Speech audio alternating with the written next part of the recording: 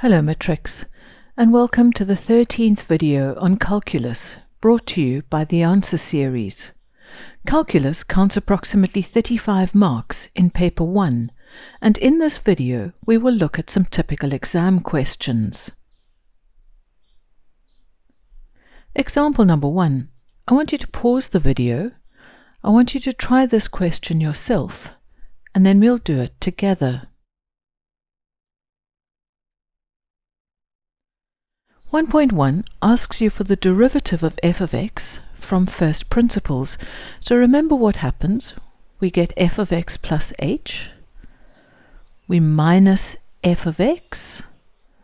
And it's all divided by h. Multiply the brackets out. Simplify. Take out a common factor of h. The h's cancel. And as I make h tend to 0, so my answer is equal to 2x.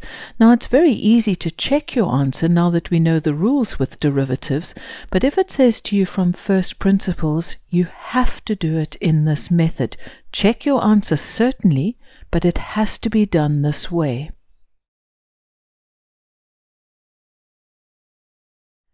In example 1.2.1, the first thing I do is write 5 over x as 5x to the minus 1. I then take the derivative of each term and then I sort out the negative exponent. In 1.2.2, remember the fourth root of x can be written as x to the quarter, square the bracket, take the derivative of each term and then sort out the negative exponent.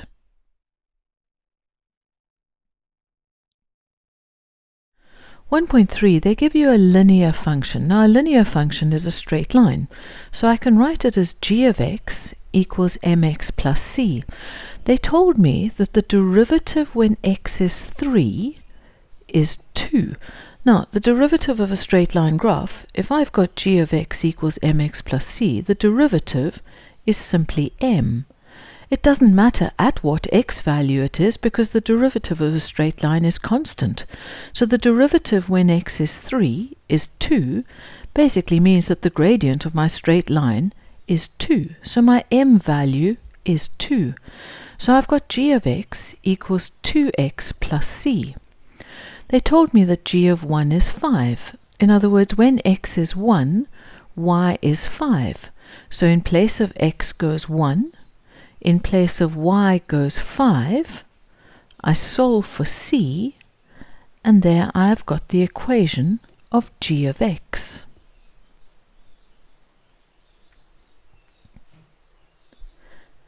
Example number two is a question on cubic graphs.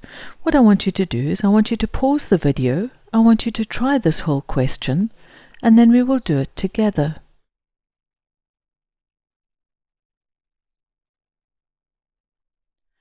They've given me the three x-intercepts. An x-intercept of minus 3 comes from a bracket x plus 3.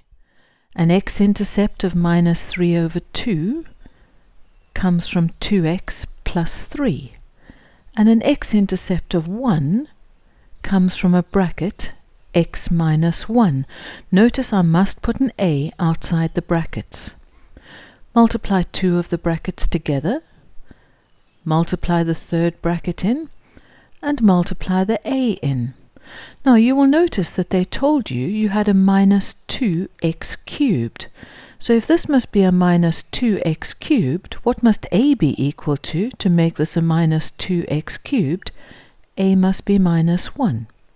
So substitute a is minus 1, and you get the equation of h of x, which they asked you for. 2.2 asks you for the x-coordinates of the turning points. Remember the turning points of any graph, you take the derivative, which is there, and you make it equal to 0. Solve for x, and the question simply said to calculate the x coordinates, so that's my answer.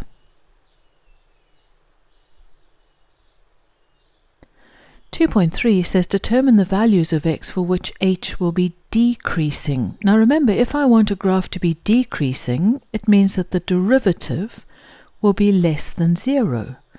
So I make the derivative less than 0 and I solve the inequality.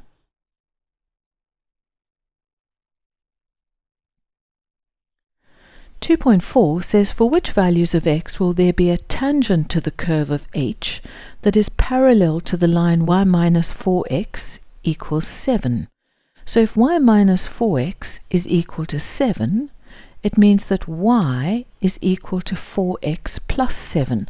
Now the gradient of this graph is 4. If I want a tangent that is parallel to it, it means I want the derivative to the curve to be equal to 4. So I take the derivative equals 4 and I solve the equation and I get two values of x.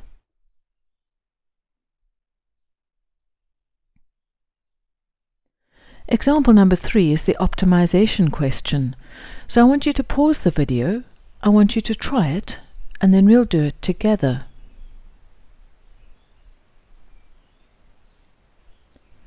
The first question asks me to determine an expression for b in terms of r. Now they told me the perimeter of the stage was 60.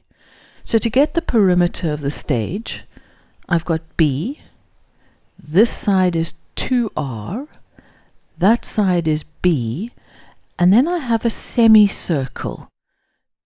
The formula for the circumference of a circle is 2 pi r. So the formula for the circumference of a semicircle is 2 pi r divided by 2. So there I've got an expression for the perimeter of the stage. I know that this must be equal to 60. And then they asked me to determine an expression for b in terms of r. So make b the subject of the formula, and you get what it is equal to.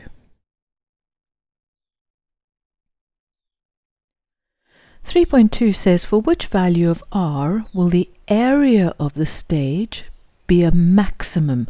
So what I need to do is I need to get the area of the stage. Now the stage consists of a rectangle.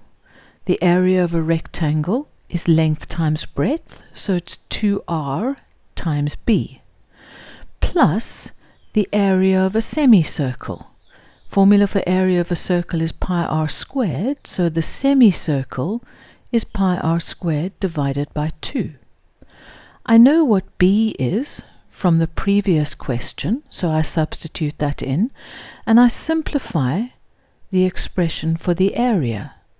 How do I get it to be a maximum? I take the derivative and I make it equal to 0, and I solve for r.